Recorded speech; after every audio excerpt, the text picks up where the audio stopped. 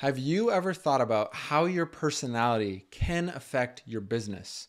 Maybe you're introverted and you don't like all the attention on yourself all the time. Or maybe you're extroverted and you tend to make decisions quickly without thinking things through all the way. Well, in today's episode, we are interviewing Amy Wicks, where she shares her story, how she found her unique personality and the ones around her to grow her business. Let's get into the interview. Welcome to the Skill to Scale show. We are so excited to have you guys here. We are all about growing our skills and showing you how to scale your life, whether that's in business or faith or your family. And in today's episode, we have a special guest.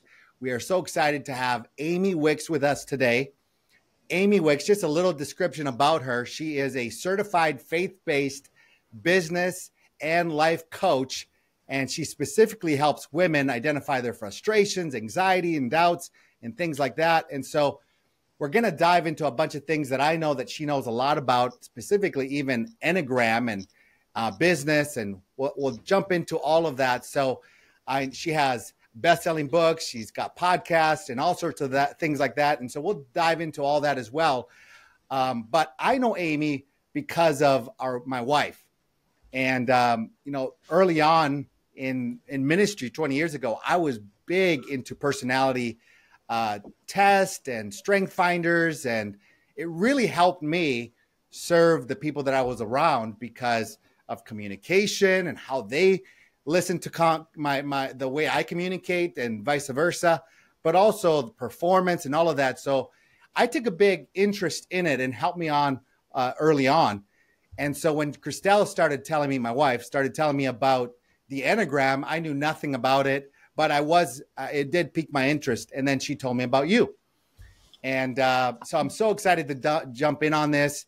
And maybe, Amy, you could just, you know, start us off by telling us a little bit of your story, but also what is the Enneagram? Because a lot of people, I still find it that a lot of people still don't know what that is. So maybe you can, you know, jump a little bit of your story and describe what is the Enneagram and and then we'll just ask more questions. How's that?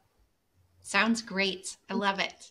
And I love great. that I got to meet your wife because our girls, your daughter, your one daughter in the midst of a pack of boys, um, is a dear, dear friend to my two girls who are around yeah. her age. So um, just really grateful to know your family.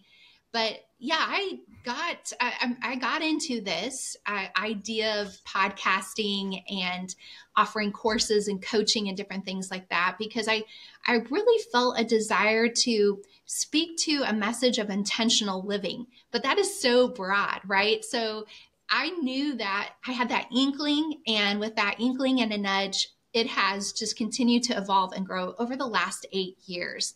So I dipped my toes in the water of podcasting seven years ago, and the rest is history, where I've just had the opportunity to utilize tools like the Enneagram to build a coaching process and roadmap to help businesses, business owners, and leaders, and to even just help the stay at home mom learn what her superpowers are, her get identify the weaknesses, right? The things like anxiety and overwhelm, frustration, and help offer a roadmap to help them walk through it. And with um, also the with through the lens of faith because that is the most important thing. I really believe God called me to this and the whole p- purpose is to to build the kingdom of God. At the end of the day, Jesus is the one who has all the answers. Our Heavenly Father can mend all the mo- broken places, but it's really great to have these tools and resources, like you mentioned, the Enneagram. So, um, for me, kind of like you, you hear about the Enneagram and enough people tell you about it. You start Googling it. You're going, how do you even spell it? Right. so, right. Enneagram simply means nine diagram. So, Ennea in Greek means nine, and gram in, in Greek also just diagram, picture, description. So it's a typology that identifies nine different personalities. At the surface, that's the core, that's the basics of it it has actually been around for a really long time, but it's kind of had its moment the last 10 years or so, where hmm. especially mm. gospel centered people have been able to utilize this tool and apply gospel principles to help people get out of the personality frustrations that all of us find ourselves in. And this, similar to Myers Briggs and different things, have, have helpful information to help us be able to adjust and make some changes in our communication styles, even decision making, engagement with others to help us thrive in our relationships and work. So, Enneagram does differ a little bit different than your typical typology, where it dials in the why, the why you do what you do, not just what you do. And I think that's an important piece to note as you explore the Enneagram. That's interesting. Um, because I, because my mom actually got me into Enneagram stuff like maybe three, four years ago. And she like made me do the test and all this stuff. Um, but I wanted to ask you, um, because you're like really into the Enneagram stuff, how do you see uh, Enneagram stuff like really affecting your business and how it's helped you grow in your business and even helping others identify their strengths and weaknesses and all that kind of stuff? Yeah, I think for me personally, as a business owner, it has identified the things that are going to quickly cause me to um, to feel stuck and I like to use the phrase, your starting point doesn't have to be your stuck point. And so the Enneagram has helped me identify some of those common pitfalls for my personality type. And it was a journey to discover what type I lead as and things like that. And as I've continued to be able to dive deep on my dominant type, I go, oh, yeah, um, the squirrel idea or shiny object syndrome, my personality totally lends itself to be getting distracted. Um, the mm. person who starts something and doesn't finish, again, a personality weakness and, tra- and trait that I have to constantly remind myself no, keep going. You can finish. You can complete that. You can do it with excellence. Um, my personality also struggles with focus, kind of what I alluded to in the first point. I can have lots of different plans instead of one plan. And so that's been a place of growth. It's also showed me that I am more of an assertive communicator there's three different types of communication patterns or styles and i fall in a category that is more assertive which for as a woman sometimes it can be surprising for some circles of people when i'm that assertive.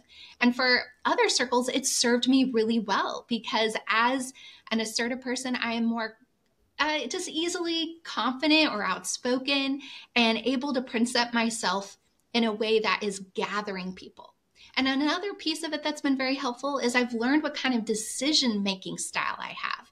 And there's also three different types mm. of decision making styles. And I fit in the what is called the head triad.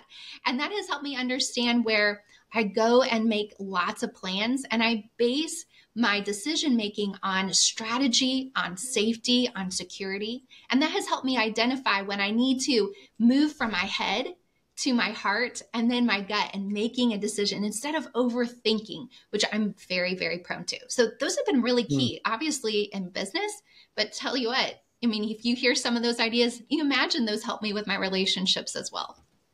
Hmm. Yeah, why don't we do something real quick? Because if no one's ever really heard about the Enneagram and they want to know, like, well, where do I fit in? Because uh, I yes. think that was that's probably for all of us. Like, who, you know, what number would I be? Because I know for me, I'm an eight, and I have a couple other numbers, uh, seven, I think, in uh, seven and five would be uh, my yep. top three numbers. Um, okay. Yes. What could you do something for us real quick and kind of just go through the nine and give a little description? Because if they've never heard what mm-hmm. that is, because you know it really helped me. Not only helped me for my own life, it, just like you said, it even helped other relationships. Like me and my wife and how do I communicate to my wife and you know and vice versa. Um, and even you know working with Michael I I know how to lean on his strengths that I don't have. Yeah. and and so on. So maybe you could just give us a quick synopsis of the nine enneagram scale. Yeah. Okay. What I'm going to use is a template of three groups of three to go through it in a order that is going to be as hopefully understandable without looking at something. You can hear it and think through a diagram. Okay. So if you can, picture with me a circle and the number nine is on top. There's no hierarchy in the Enneagram. So the nine is just simply, it's the final number and it happens to be on top of the circle. But where we're going to begin today for description's sake is at the eight. And that's at the say 11 o'clock if you think about a clock. So we're going to talk about the 8, 9, and 1. The 8, 9, and 1 identify themselves in a group called the gut triad. When they are making a decision, they immediately, they don't think, they just instinctively know I must respond. It's a visceral somatic response, and they find themselves responding. The eight tends to be more assertive out of that group of three, and they often enjoy and appreciate a good challenge. They are more assertive in their communication style, and they they have a feeling, a, a very visceral feeling of who they need to protect, who they need to defend, what they need to challenge. The nine is a more of a withdrawing communication style. They tend to uh, back off and maybe go the other direction uh, in communication or in conflict. And they tend to want to um, keep a sense of peace and harmony and unity within themselves and also in their environment. They tend to, if they are healthy, they're going to bring stability um, in their peaceful making ways. And they are a peacemaker, not just a peacekeeper because a peacekeeper just turns their back on the situation and pretends it doesn't exist, whereas a healthy nine is a peacemaker. A mm. one in this gut triad, they are a dutiful communication style. They tend to come alongside the situation.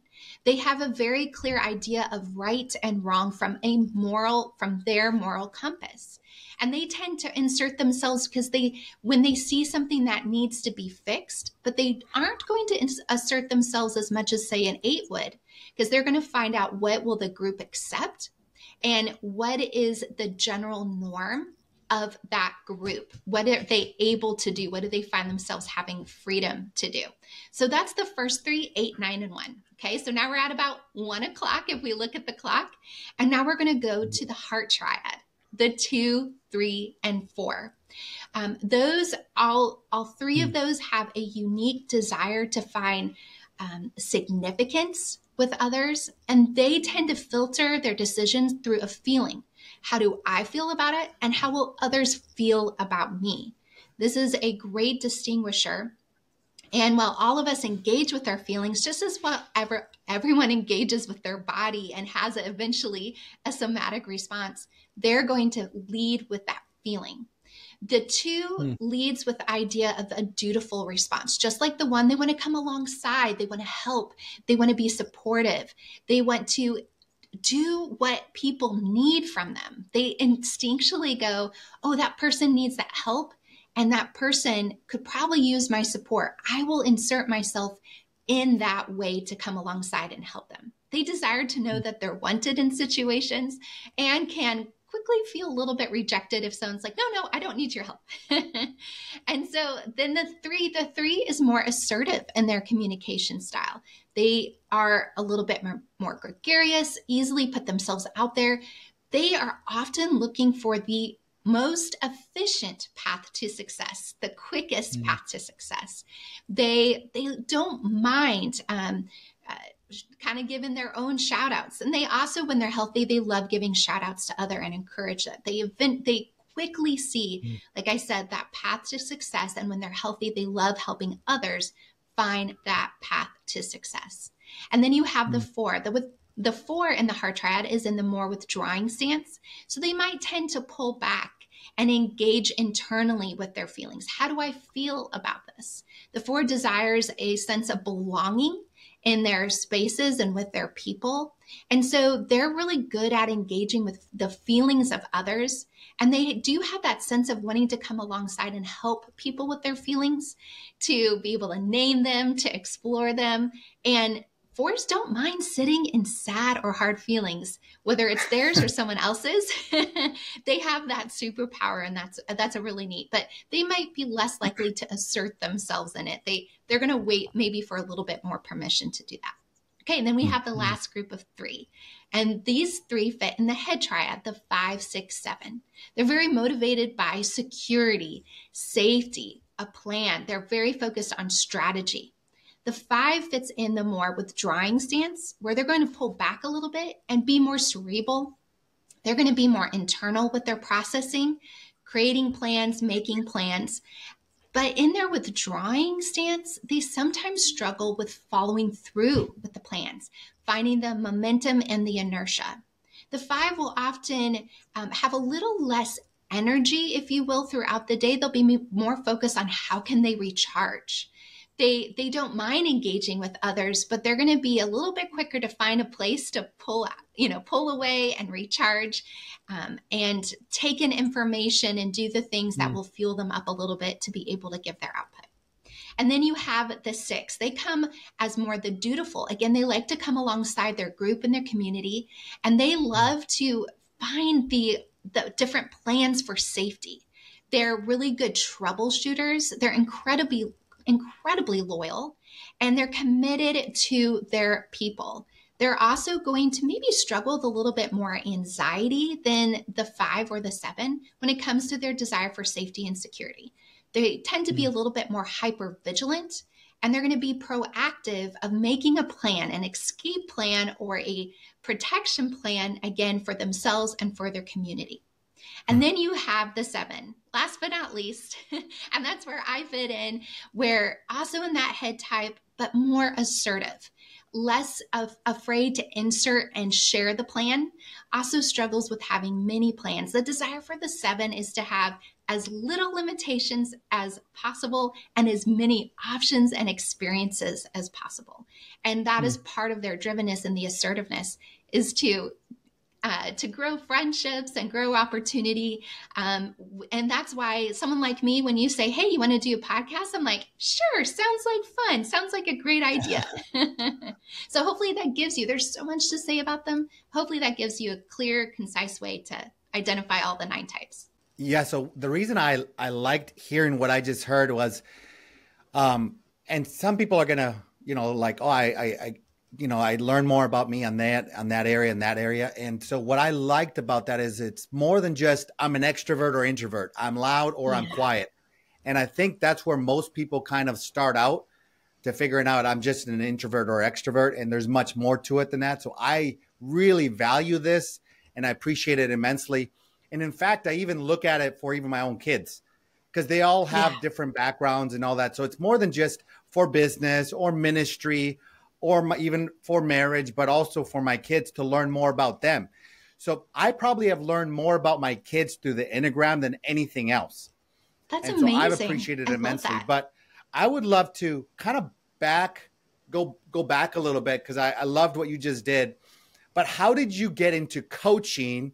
And you know, did you trip over this? Because we get a lot of people that we're talking to, helping them with their online businesses and online coaching and courses and stuff like that and you know people are pivoting you know mm-hmm. more than ever they're pivoting. Maybe it's because of what took place in 2020 or what's taking place with the government and so on. Um, and so they're taking their knowledge their expertise and they're going to online coaching a lot of times. Now there might even be going into another direction of business but maybe you could tell us a little bit of your story how you know you've been You've been podcasting for seven years. You told us that it's your seven year anniversary on Sunday. So, can you just give us a little background on how did you get into doing this? Yeah. Okay. If you want to know the real story, it's kind of fun. Yeah. Let's do that. I, Let's do that. All right. Well, I grew up in the ministry and went from being a kid in ministry to an adult in ministry pretty quickly. And mm. as a um, young woman in the 90s, uh, you know, kind of hint at my age here, um, there wasn't a whole lot to do with the desire for ministry in my social arena than marry a pastor, which I said I would never do, or um, or to be an assistant at some church or to be a missionary. Um, but I knew I loved discipleship and mentorship, and I was whether I was the oldest of four kids and the pastor's kid, I don't know. I just was always naturally inclined to support people, even who were older than me. Um, and maybe I was born old. I, I, you know, all of those factors. But I think from early on, I knew I had this call on my life. Well, uh, you know, insert a lot of sad um, hard difficulties in the ministry, to be honest with you. Um, I ended up just becoming a, a layperson who is in real estate and who did discipleship on the side and involved with the church at some level. And so lots of different businesses, entrepreneurships through early years of marriage and then having three kids, three kids in three and a half years left me with like, I was making bread, I was doing medical billing, I was doing all sorts of different things, and always this discipleship on the side. So when I, I think this would have been 2015 or so, I really started feeling restless. I had a home based business selling cloths and cleaning supplies. And then I also was doing this medical billing and raising three kids and homeschooling. But I just felt this nudge to, to do something a little bit more and also something that would provide income for my family and also being this like this new phase of my life that I could begin to work a field that really added more meaning to my life and was part of this long term, what I felt was vision and call.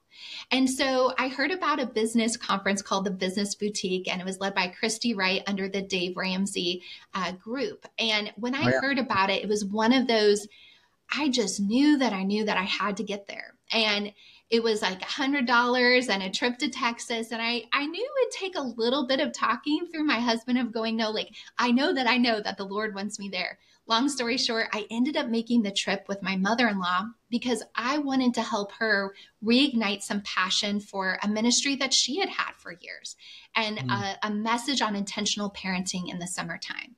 So I went there thinking I'll get re energized for my Norwex business and, you know, I'll help my mother in law. It'll be this amazing thing. And it was an amazing thing. Interestingly enough, as I sat there, I felt in my spirit like a spiritual mantle shifted from my mother in law's shoulders to my shoulders of this intentional parenting message. It, hmm. it is not like an experience that I have had previous. It was so unique and distinct, but clear, Isabel. I can still feel that experience in my mind, if you will, as I think back on it. And then the rest of the time, I still have the notebook from that conference. I was writing these ideas about podcasting and interviewing amazing women and having online courses and all these things that I wasn't really familiar with, but I just was having these crazy downloads. Now, I could not have imagined in a million years, fast forward eight years later, what things look like now or where I would be going. But that was really the start of it and this direction of exploring, you know, how can I come alongside my mother in law? Very, very long story short. Um, lots of twists and turns in the process. I did take on that message for her because she wanted to reach retire and quilt and just you know live a more relaxed style. She wasn't interested in um, doing the work involved necessarily that i was suddenly feeling passionate about. So she blessed me with that. And as i began to work with more moms intentionally in my church and then also just through um, expanded community because of all the different places i lived and the benefits of being online i kept coming back to this reoccurring thing where moms were really doubting of their call or doubting because being a mom was so hard for them compared to their friend or sister or neighbor that maybe they weren't cut out to be a mom. And why was motherhood uniquely frustrating for them? So that's really where the Enneagram came in, where I felt the Enneagram specifically gave some of the pain points, the motivations, the fears, the struggle, the core mm. struggles that they could finally name and identify that was unique to them. And then they could see, listen, this is how God wired you. This is how God made you. There's nothing wrong with you. And just because this is your struggle and it's not your friend's struggle, it doesn't mean there's anything wrong with you. And there is a pathway through. The answer is found in the gospel. The answer is found with what the Lord gave us and understanding therapy and tools and soul care, obviously the word of God being a big theme of it. And so I decided to go ahead and get certified in Enneagram so I could learn from a perspective of the coach. Um, and so your Enneagram coach is a well known uh, gospel centered platform that certifies coaches. But at that time, when I was going through that, it was a big price tag to get their roadmap, if you will. And so it forced me to create my own roadmap. So as I would mentor women in my living room, literally week in and week out with inexpensive childcare and food and coffee. And in one room, you know, kids are going crazy over here, tearing everything up. Um, but in this other room, 20 plus women, we would sit and go through the struggles and identify all these different things. And what I was doing was group, group coaching. I didn't know it. And, but in the process, I was able to see, walk them but through that was things in where, person. So all this was in person yeah. coaching.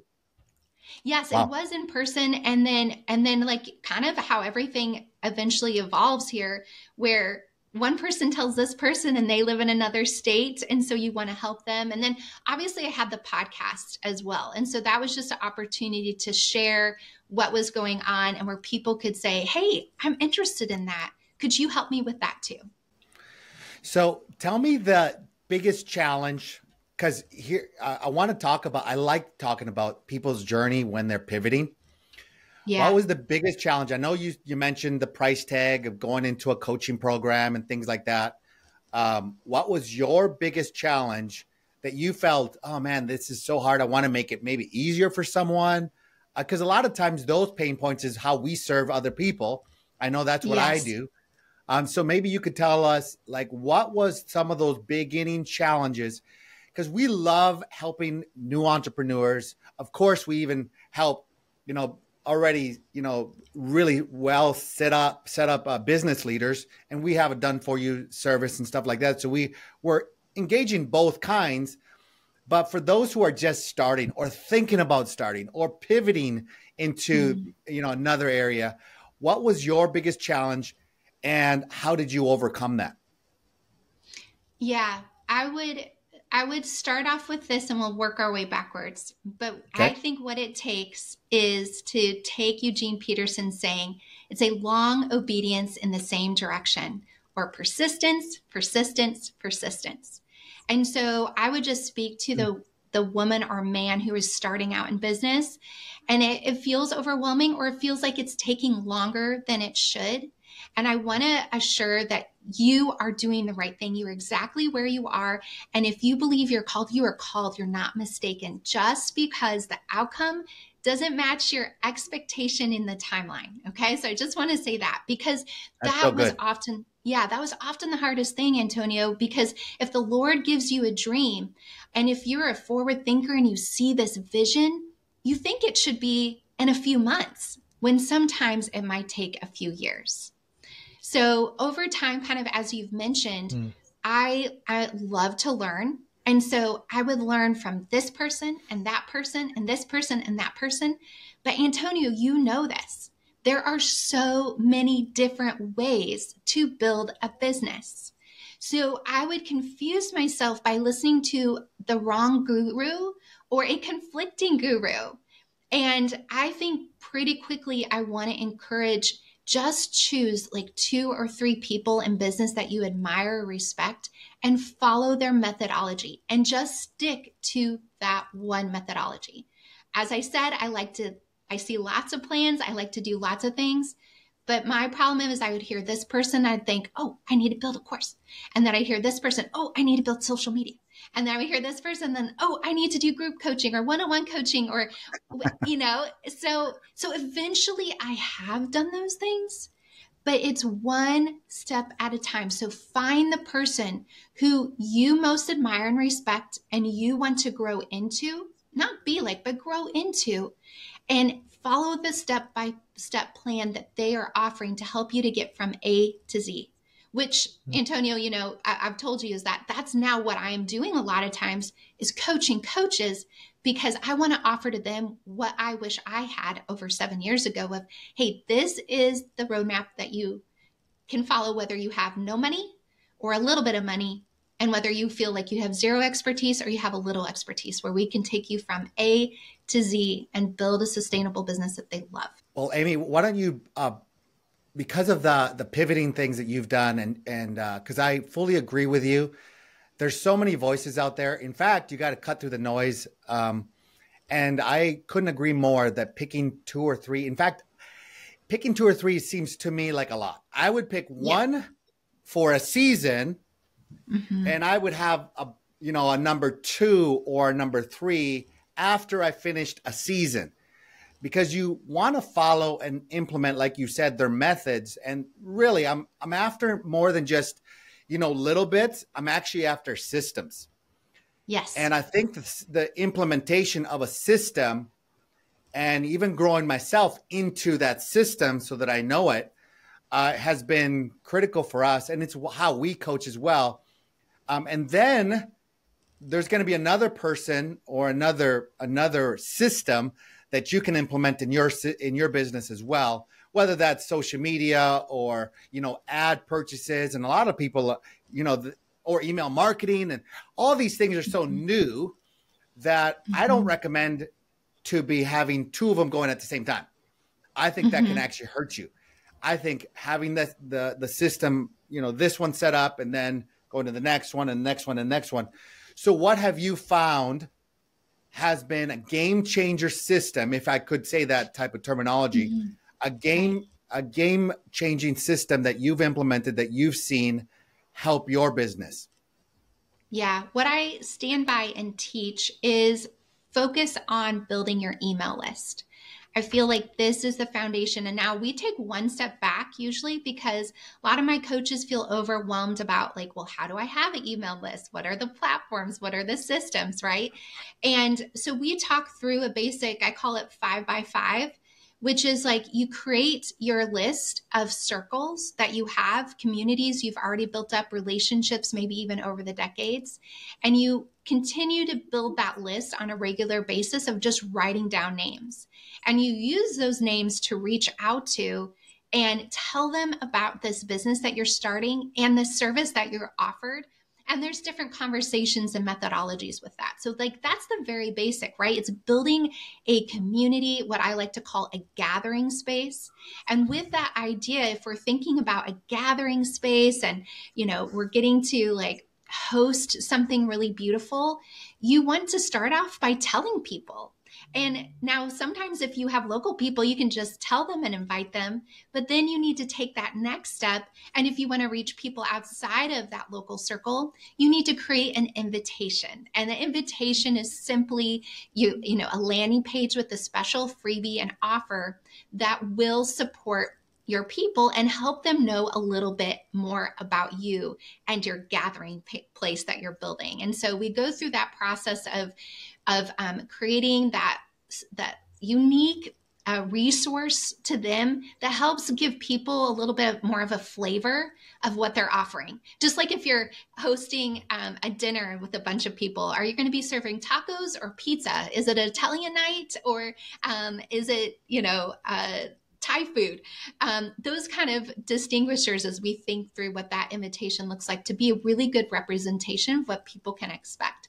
Um, because we're not going to be hosting a buffet. And so that helps people get really clear on dialing in on that one thing. And we just go through from there. And so I feel like even with all these years of business, I still go back to those personal contacts, the personal one-on-one conversations. And and over time you can begin to scale that and like you said, build in and add other systems so that way you can eventually be uh, reaching more people, gathering a bigger community. But all of that takes time and money. But I really believe you can start at the very beginning with the people you know, the email addresses you have, and through that, grow a business that will provide income. That's super good. I really like uh, how you're taking someone from A to Z in business. Um, I want to transition the topic a little bit to marriage and the Enneagram because this is something I've always wondered. Because um, I'm kind of like like my enneagram. I'm a seven five, so I'm always okay. thinking about like uh, how can we have fun? But then like when I'm thinking about something, like I'm thinking about all the systems, how the things I can make it work. And then when I'm thinking, I'm kind of in my own world. Like I don't even like hear when someone's talking to me. And my wife, she's a two. So she's like always helping. She's always wanting to be understood. How can she help? How can I help? And it's something we've grown in into each with each other. But how would you say? This is the question I was wondering. How would you say, um, as a husband, because we actually have a lot of male viewers. Yes. As a husband, how can I look at my wife's enneagram and then help her in that area? Uh, that's so good. And I always say the most important thing is that you work on your individual self awareness by getting mm. really clear on the things that the Enneagram can help us name core hmm. desires, mm. longings, fears, weaknesses.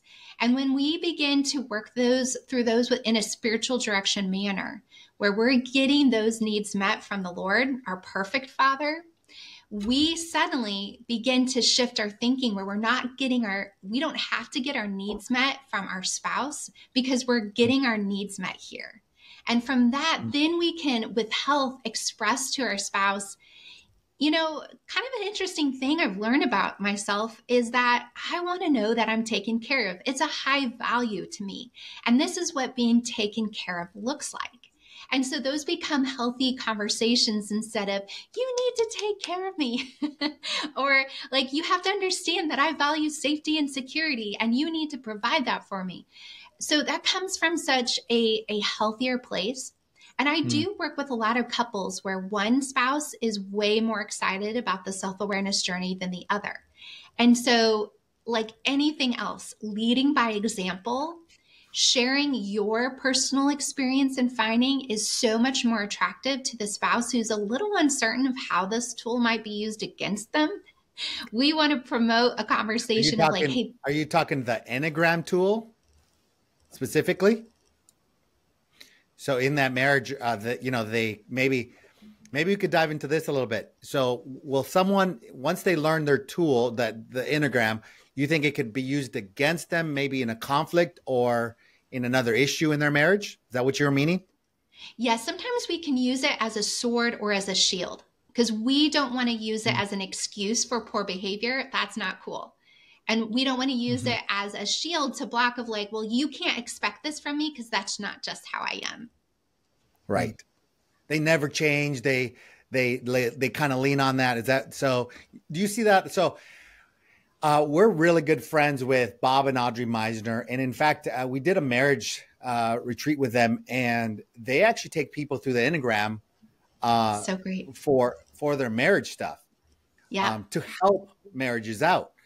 Yes. So you see a lot of that even in marriage, like um, they lean on as an excuse of not changing or not serving the other person uh, with the Enneagram. Have you seen that a lot? It definitely kind of that that same thing, right? Where our starting point doesn't need to be our step point. It's reminding everybody it's an identifier, but we don't have to keep those unhealthy coping mechanisms or just because we tend to be one communication pattern doesn't mean we we don't have access to the others, right? I believe right, yeah. if we're made in the image of God, who is the perfect all nine and more, then we mm-hmm. have accessible through the power of the Holy Spirit in us and the fact that we're made in the image of God to exude all the qualities. Just because I'm not a natural peacemaker doesn't mean that I can't engage with my peacemaking gift because that is ultimately the fruit of the Holy Spirit. So it is it is such a powerful tool, Antonio, because I've also been um, certified in marriage and family. I think it's an incredible tool, as you mentioned, like with kids and parents, husband and wife. And it's so great when all parties can come together, learn about themselves.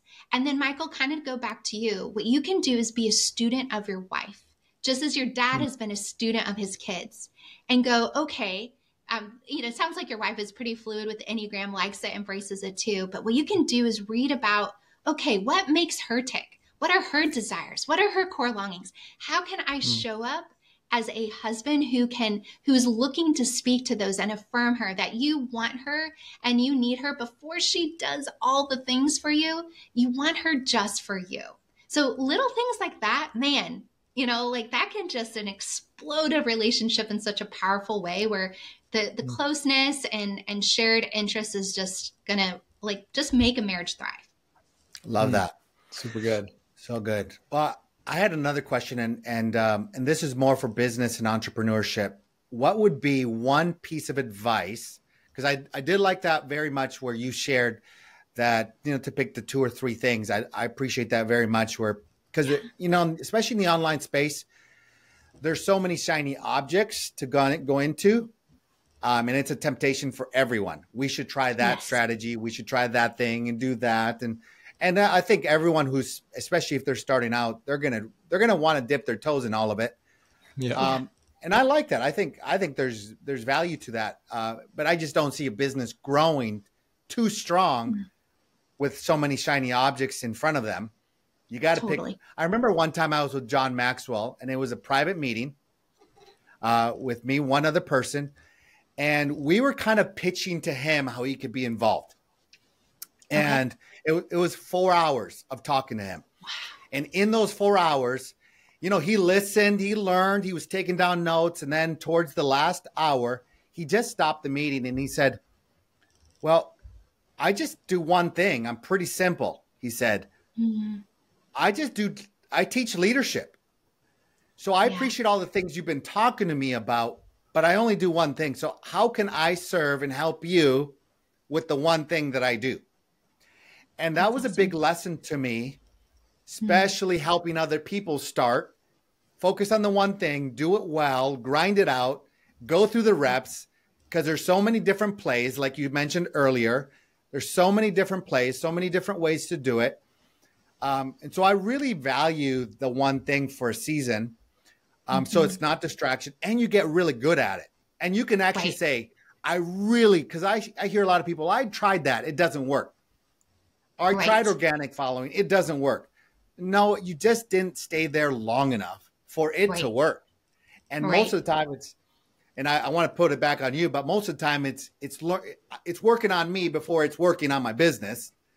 And uh and then it's gonna overflow and reap, you know, reap mm-hmm. uh, you know, benefits and rewards later on. But maybe you could tell us what would be the one thing piece of advice that you would give a new entrepreneur who maybe feels stuck or you know wants to pivot you know the mm-hmm. journey that you did what would be the one thing that they could actually take and and you could give them some advice yeah well mm, one thing right that's always so hard i mean you could pick um, a couple you could pick two or three as well but you know i like the one thing that really yeah. could help a new entrepreneur yeah. I I would kind of actually touch on what kind of couple what you said and then also going back to the persistence and the long obedience in the same direction. And the question to ask yourself before you pivot or before you give up is have you really tried it long enough? Like you mm. said, most of the things we do because we either get bored or we think it should work in this amount of time when really it takes this amount of time because sometimes I think we give up or pivot when we're this close to a shift. And on our instant society, where people do sometimes are overnight successes, but does it really last long or is it too much too soon? We, we all know people who burn out quick and had the rise to fame and it wasn't healthy for them. So if you really want to do this thing long term, go back and settle with yourself. Did I really give it enough time? Am I willing to get to go move past the boredom maybe you feel with it and to give it a little bit longer, especially if you have access to training already. You don't have to invest any more money. You already have sound counsel, you have the roadmap and the plan, the proven plan. Continue to do that and exhaust it until you know that you know that you or it's time to move on to something else. So it is really too quick. You know, even myself, it's just really easy to think, oh, I did this for six months and it didn't quite have what I or do what I thought it would do. When I really just needed to give it a year or two years, even. Um, obviously, if you're losing money and you can't pay your bills, you know, like th- that's a totally different conversation. But if it's just not as big as you think right. it should be because of your hard work, give it time. Like I'm like John Maxwell is a perfect example, right? How many years has he been in the leadership space? He's and he hasn't burned out. He hasn't been this like a flame woman out the next. Like he consistently and he, all those years, he has something really substantial to look forward to. And I much rather lean into that model than any sort of overnight success that lasts for a few years and then it's gone. Well, I had a, you know, Michael and I uh, on the on the same conversation you you were just sharing. Actually, right before you came on, Michael was actually talking to me about this same thing. A lot of people don't stay the course. They don't they don't persist. Um, would love, you know, Michael, you were just sharing with me something that you learned about some people need to learn and then they need to execute. Why don't you, you know, jump into that because I think it actually adds to this conversation. Someone who's just starting out and uh, they quit too early. And I know the financial side of things. I, I also think, man, there if you have a call that you feel this, uh, you know, part of it is gut and part of it is a call, and I kind of mix those two things. Um, and you were telling me about the learners and the the executors, Michael, and I forget the terminology, mm-hmm. but maybe expand on that because I'd like to build on that. Yeah, yeah. So pretty much, I was I was listening to this interview how this guy started in business. He's a Christian guy, um, and he was saying that he usually sees there's two type of people in business. There's like an executing person, and then there's like a learning person, and mm-hmm I've even seen this with like me and dad's relationship where I would say I'm more of like learner thinking and then dad's like executing, right?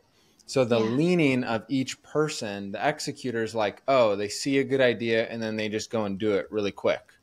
And then the learning type person's like, they see a good idea, then they learn everything about it, and then they just keep learning, right?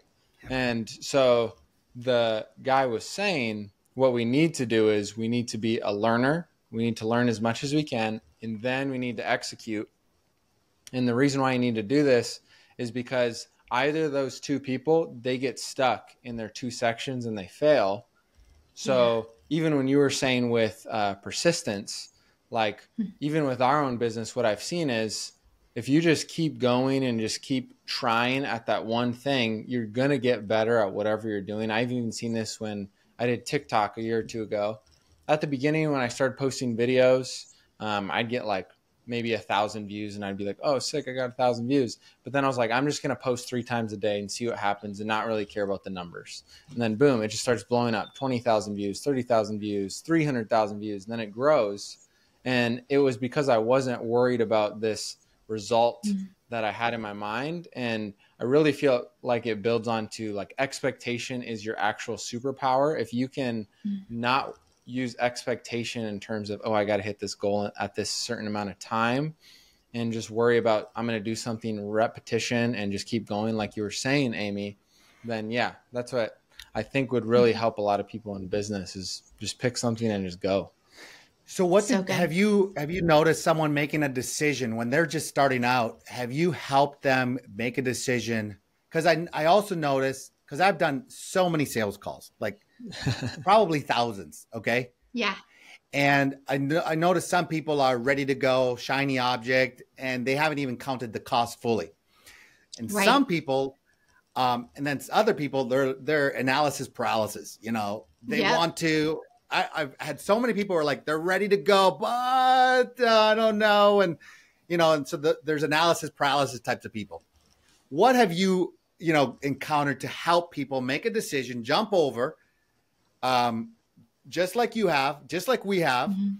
Uh, mm-hmm. because a lot of people want to, but their ducks are not in a row. There's no perfect timing. The money is not yeah. all there. You know the the the situation, the circumstances, and all of that.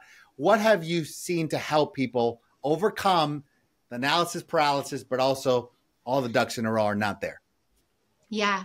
And I think it goes back to, and this is where I feel like there is like a, a very short list. Usually I have five questions to your point, Antonio, right? In those calls and exploring a decision, there's usually five questions that we ask.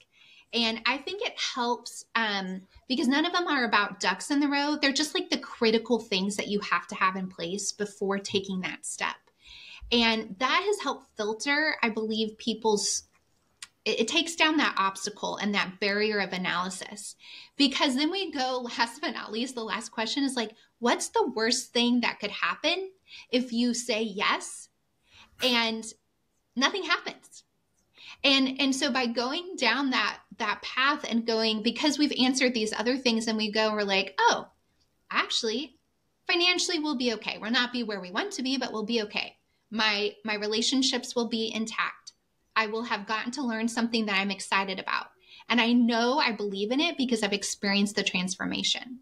And so then that last question is like, oh, and then they go, that worst case scenario, it's not actually that bad. I think I could go ahead and go for it and do it. 100%. Well, Amy, thank you so much for spending a little time with us.